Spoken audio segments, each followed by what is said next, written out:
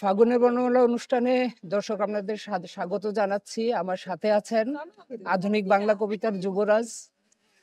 আধুনিক সময়ে আন্তর্জাতিক পরিসরে, কাব্যিক কবিতার পরিসরে সবচেয়ে পরিচিত এবং আমাদের কাঙ্ক্ষিত জন কবি রাজউদ্দিন স্টালিন। আপনাকে সুস্বাগত জানাচ্ছি ফাগুনের বর্ণমালায়। প্রথমে জানতে চাইব যে এবারের বইমেলায় আপনার কোন বইটি প্রকাশিত এবারে হয়েছে? বইমেলায় আমার একদিন সব ঠিক হয়ে যাবে। এই বইটি প্রকাশ করেছে, কণ্ঠস্বর প্রকাশনী প্রচ্ছদ দেখেছে মুস্তাফিজ কারিগর। বইটি ভালো বিক্রি হচ্ছে এবং আমি যেটা এবার চেষ্টা করেছি, কবিতার একটু ডিফারেন্ট ওয়েতে মানুষের কাছে কবিতা নিয়ে যাওয়ার। আপনি নিশ্চয়ই জানেন যে কবিতার বিরুদ্ধে একটা অভিযোগ আছে পাঠকের কবিতা দুর্বোধ্য, বোঝা যায় না। আধুনিক কবিতা খুবই পাঠ করে আনন্দ পাওয়া যায় না। তো আমি যেটা চেষ্টা করেছি মানুষের একদম মুখের কথা কবিতা নিয়ে আসতে যেন মানুষ বোঝে। এমনও অভিযোগ আছে যে কবি নিজেই বোঝে না সে কি লিখছে। কি লিখছে। এই জায়গা থেকে কবিতাকে বের করে আনতে হবে। দুর্বোধ্যতা হ্যাঁ এই জন্য দেখবেন যে নজরুলের কবিতা রবীন্দ্রনাথের কবিতা সুকান্তের কবিতা এবং শামসুর রহমান আল মাহমুদের কবিতা মানুষ বোঝে। তাদের কবিতা মানুষ পড়তে চায়। তার পরবর্তী প্রজন্মের মানুষ কেন কবিতা পড়ছে না? নিশ্চয়ই কবিদেরও কোনো খামতি আছে। সেই জায়গাটা আমাদেরকে কবিদেরকে এগিয়ে আসতে হবে কিছুটা ছাড় দিতে হবে। আমি সবসময় শিল্প নন্দন তত্ত্ব আহ, অলংকার শাস্ত্র নিয়ে ভাববো কিন্তু পাঠকের কথা একদম ভাববো না তাহলে কিন্তু কবিতা দাঁড়াবে না। কবিতা বিক্রি হবে না কবিতার পাঠক থাকবে না। যদিও কবিতার পাঠক খুব নির্বাচিত এবং কম সেই জন্য কবিদের কিছুটা ছাড় দিয়ে পাঠকের কাছে এগিয়ে আসতে হবে। সাধারণের কথা বলতে হবে সময়ের কথা বলতে হবে জীবনের কথা বলতে হবে স্বপ্নের কথা বলতে হবে। যা পাঠককে আন্দোলিত করবে, মানুষকে মনে রাখতে সহযোগিতা করবে। আর সবচেয়ে বড় কথা হলো বাংলা কবিতার যে তিনটি ছন্দ, স্বরবৃত্ত, মাত্রাবৃত্ত এবং অক্ষরবৃত্ত এই তিনটি ছন্দ প্রত্যেকটা কবির এবং সম্পাদকের জানা উচিত। তা যদি আমরা না জানি, তাহলে আমরা ভালো গদ্য কবিতা লিখতে পারব না। আপনি দেখবেন যে পৃথিবীর সবচেয়ে ছন্দময় কবিতাগুলো মানুষের মুখস্থ থাকে। এমনকি পৃথিবীর প্রত্যেকটি ধর্মগ্রন্থে লেখা হয়েছে ছন্দ দিয়ে। আপনার এই কবিতার যে আন্তর্জাতিকতা কবিতা বৈশ্বিক মানুষের কাছে কবিতা পৌঁছানোর যে প্রচেষ্টা এটাতে আসলে কাদের কাদের চেষ্টা আছে আমি জানি না আপনাকে দেখি। আপনাকে দেখি আমাদের বর্তমান যে কবিরা আছেন এদের মধ্যে আসলে বাংলাদেশের সমসাময়িক যে কবিরা আছেন তাদের মধ্যে কতজন সফল কারা সফল বা এই গন্তব্যটাতে আমরা কত দূর পৌঁছতে পেরেছি এটা হয়েছে? কি একটা কবিতাটা সারা জীবন কেড়ে নেয়। কবিতার সাধনা একদম জীবনের শুরু থেকে শেষ পর্যন্ত। একটা ভালো কবিতা লেখার জন্য আমরা আজীবন চেষ্টা করি। যে কবিতাটা বিদ্রোহী কবিতার মতো হবে যে কবিতা রবীন্দ্রনাথের দুঃসময় কবিতার মতো হবে সুকান্তের বোধন কবিতার মতো হবে কিংবা শামসুর রহমানের স্বাধীনতা তুমি কবিতার মতো হবে আল মাহমুদের সোনালী কাবিনীর মতো হবে রফিকা আজাদের তুমি আমার আর্কিডিয়ার মতো হবে। এই কবিতাগুলো আমরা লেখার চেষ্টা করি যেন টিকে থাকে। বাংলা ভাষার কবিতা শুধু যে বাংলাদেশে না ভারতের পশ্চিমবঙ্গে অসংখ্য ভালো কবি শক্তি সুনীল এরা আছেন শঙ্খ ঘোষ আছেন জয় গোস্বামী আছেন সুবোধ সরকার আছেন তারও আগে আমরা সুভাষ মুখোপাধ্যায় আছেন। এই কবিতা কবিরা যে কবিতা রচনা করেছেন সেটি কিন্তু খুবই পাঠক আদৃত হয়েছে। তাই না? যদি আপনি সুভাষ মুখোপাধ্যায়ের কথা ধরেন তার একটি লাইন আছে ফুল ফুটুক না ফুটুক আজ বসন্ত। মানুষের মনে মনে আছে। শক্তি চট্টোপাধ্যায়ের একটা লাইন আছে যে যেতে পারি কিন্তু কেন যাব? কেন যায় সুনীলের কবিতা কেউ কথা রাখে না। এই যে মানুষের মুখের মধ্যে চলে আসলো। শামসুর রহমানের স্বাধীনতা তুমি রবি ঠাকুরের নজর কবিতা অবিনাশী গান। রফিকা যাদের ভাদ্যে দে হারাম যাদের তাহলে মানচিত্র খাওয়া। তাই না? আমাদের আহ, নির্মলানন্দ গুণের আহ, সবচেয়ে বিখ্যাত কবিতা তোমার পায়ের নিচে আমিও অমর হব আমাকে কি মাল্য দেবে দাও? হ্যাঁ হেলাল হাবিবের এখন যৌবন যাক যুদ্ধে যাবার শ্রেষ্ঠ সময়। মানে মানুষের মুখে যখন কবিতা আসবে তখনই কবির কিছুটা সার্থকতা আসবে এবং কবির সাফল্য কিন্তু তখন বাড়বে। কিন্তু শুধু মানুষের মুখে আসলেই যে সে বড় কবিতা না অনেক যুগস্রষ্টা কবির কবিতা মানুষের মুখে নাও থাকতে পারে। জীবনানন্দ দাস তার জীবদ্দশায় কোনো স্বীকৃতি সেরকম অর্জন করেননি। কিন্তু মৃত্যুর পরে আজকে জীবনানন্দ দাসই হচ্ছে বাংলা ভাষার শ্রেষ্ঠ আধুনিক কবি। তার অনুকারক অসংখ্য। সুতরাং কবিরা সবসময় চেষ্টা করবেন একটি ভালো কবিতা লেখার। আর আমি চেষ্টা করেছি বাংলা কবিতাকে বিশ্বের দরবারে পৌঁছে দিতে। প্রায় বিয়াল্লিশটি ভাষায় আমার কবিতা অনুদিত হয়েছে। চারটি বিভিন্ন দেশের বড় প্রকাশনা সংস্থাতে আমার বই বেরিয়েছে এবং নানা রকম পুরস্কারও আমি পেয়েছি। কিন্তু আমি মনে করি যে এটা একটা ধারাবাহিক কাজ। এটা থেমে থাকলে চলবে না। বাংলা ভাষার কবিতাকে, বাংলা ভাষার মানুষের মানুষের যে মূল জায়গা, বাংলা বর্ণমালা, বাংলা ভাষা, বাংলা ভাষার যে মূল তাৎপর্য, সেটা বিশ্বের মানুষের কাছে তুলে ধরা। যেরকম লাতিন সাহিত্য আফ্রিকান সাহিত্য কিংবা আরও বড় বড় মহাদেশের সাহিত্যগুলো কিন্তু গেছে মানুষের কাছে বিশ্বের দরবারে গেছে। আমাদের সাহিত্য যাচ্ছে না। তার প্রধান কারণ আমাদের দূতাবাসগুলো কি করে যদি আমরা প্রশ্ন করি তারা কি ঠিকমতো আমাদের সাহিত্যের কথা ভাবে আমাদের সংস্কৃতিকে প্রমোট করে আমাদের সরকারের উচিত এই এম্বাসিগুলোর মাধ্যমে বাংলা ভাষার আন্তর্জাতিকায়ন করা আমাদের বড় কবিরা কি আন্তর্জাতিকভাবে পরিচিত হয়েছে? হয়নি। আন্তর্জাতিক স্বীকৃতি রবীন্দ্রনাথ উনিশশো নয় সালে নোবেল তেরো সালে নোবেল পুরস্কার পেয়েছিলেন। তারপরে বাংলা ভাষায় আর কেউ আজ পর্যন্ত আন্তর্জাতিক স্বীকৃতিই পায়নি। তাই না? সুতরাং এগুলো, এইসব খামতি বিবেচনা করেই লেখকদের, কবিদের এগোতে হবে এবং কিছুটা নিজস্ব চেষ্টা থাকবে, কিছুটা রাষ্ট্রীয় পৃষ্ঠপোষকতা থাকবে। আপনার নব্বইয়ের দশকে আমরা যখন বিশেষ করে ইত্তেফাকে সাহিত্য পাতা পড়তাম, রেজাউদ্দিন স্টালিন নামটা দেখলেই চোখটা আটকে যেত।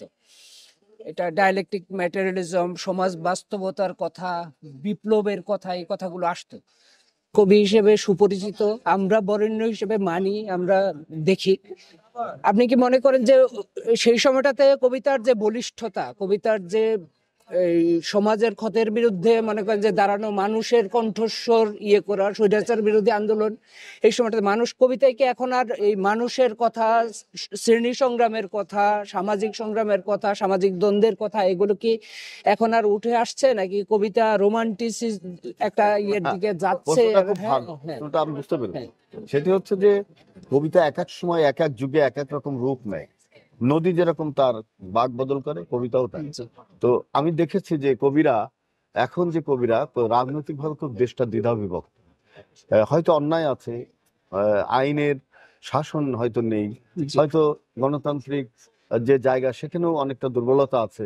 এর বিরুদ্ধে কথা বলার যে মানে ঐক্যবদ্ধ প্রয়াস সেটা কম। কারণ দেখা যাচ্ছে মানুষ এখন দলদা দলগতভাবে বিভক্ত। কেউ আওয়ামী লীগ কেউ বিএনপি কেউ জামাত কেউ জাতীয় পার্টি। সুতরাং কে কার বিরুদ্ধে বলবে? তখন তাকে দোষী সাব্যস্ত করা হবে। কারণ কবিরা কিছুটা নিরপেক্ষ অবস্থানে দাঁড়িয়ে কথা বলার চেষ্টা করছে এবং কেউ কোনো ঝুঁকি নিচ্ছে না। কিন্তু আমি সবসময় মনে করি যে আমাদের বাংলাদেশের স্বাধীনতা সংগ্রামের পঞ্চাশ বছর অতিক্রম করেছে আমরা।